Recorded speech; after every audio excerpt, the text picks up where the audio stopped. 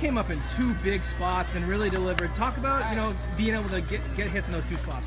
Um, I was just looking for a pitch to drive um, and uh, give my team the best opportunity to win. Um, I'm in the four hole, so when there's runners on base, I'm just trying to drive the baseball hard, and uh, good things happen when you do that. Jack, you were a newcomer on this team, and uh, but really fit in well. Talk about the experience of playing with this uh, Legion team. Uh, right. Um, I went to school in Shrewsbury at St. John's, and uh, half, everybody's from Shrewsbury or around the area. Half the kids are St. John's guys, and the other half uh, Shrewsbury's are rivals. But uh, they did a great job of uh, taking me in and treating me like one of their own. And uh, I've loved playing here, loved playing for Coach V and all these other guys. I wouldn't trade this summer for anything.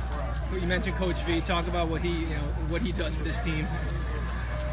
I can't even put it into words. You know, he's a he's a great guy. You know, I I go to war for that guy. Um, I can't really put it into words.